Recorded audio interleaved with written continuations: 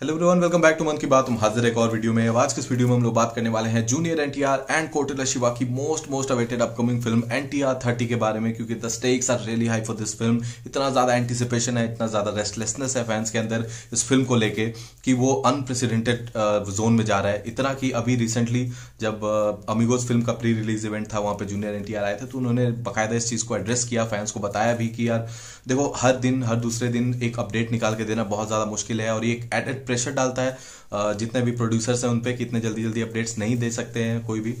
लेकिन देखो फैंस का रेस्टलेसनेस होना जायज़ भी है क्योंकि मार्च में निकली थी ट्रिपल आर और अब मार्च आने वाला है अगले महीने और अभी तक फ़िल्म फ्लोर्स पे भी नहीं गया तो चिंता का विषय तो है ही। लेकिन अब फाइनली सब कुछ ठीक होने वाला है और अब जो जितना भी इंतज़ार है ना फैंस का, वो अब जाके खत्म होने वाला है और मार्च में ये फ़िल्म जो है फ्लोर्स पे जाने वाली है। जूनियर एनटीआर ने उसी इवेंट में ये भी बताया कि हम लोग इस महीने फॉर्मल ऑफिशियली लॉन्च हो जाएगी ये फ़िल्म और मार्च बीस इक्कीस उन्होंने बताया कि हम लोग फ्लोर्स पे जाएँगे। हो सकता है कि पहले भी चले जाएँ। लेकिन मार्च के फ़िल्म में ये फ़िल्म जो है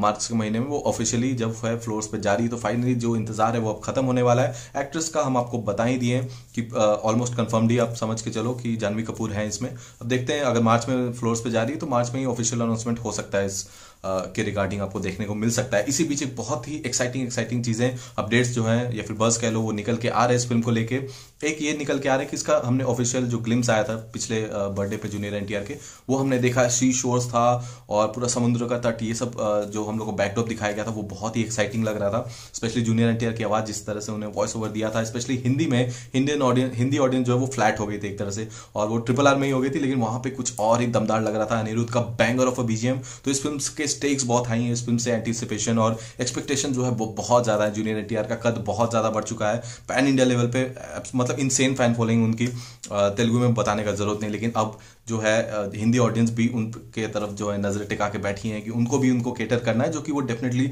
इस फ़िल्म से करने वाले हैं, क्योंकि सुनने में आ रहा है कि एक फिक्शनल आइलैंड और पोर्ट का बैकड्रॉप होने वाला है। इस फ़िल्म का बहुत हैवी वीएफएक्स वाली फ़िल्म होने वाली है। और हम लोग बजट के बारे में भी लास्ट ईयर ही बात की थी कि ऑलमोस्ट ढाई तीन सौ करोड़ का इसका बजट होने वाला है। कहीं से भी ये छोटी मोटी फ़िल्म नहीं है and of course triple R के क्रेजी सक्सेस के बाद वो छोटी मोटी फ़िल्म करेंगे भी नहीं। तो ये बहुत एक बड़ी फ़िल्म होने वाली मैसिव प्रोजेक्ट है, और बहुत सारी चीज़ें जो है इंतज़ार हुआ। आई नो कि बहुत ज़्यादा आचार्य के रिलीज़ होने के बाद ऐसा सिचुएशन हुआ कि बहुत ज़्यादा डिले पे डिले डिले पे डिले होते गए और उसी का नतीजा है कि फैंस जो है वो इतने रेस्टलेस नहीं लेकिन अब जो है सारी चीज़ें खत्म होने वाली हैं फ़िल्म फ्लोर्स पर जाने वाली है।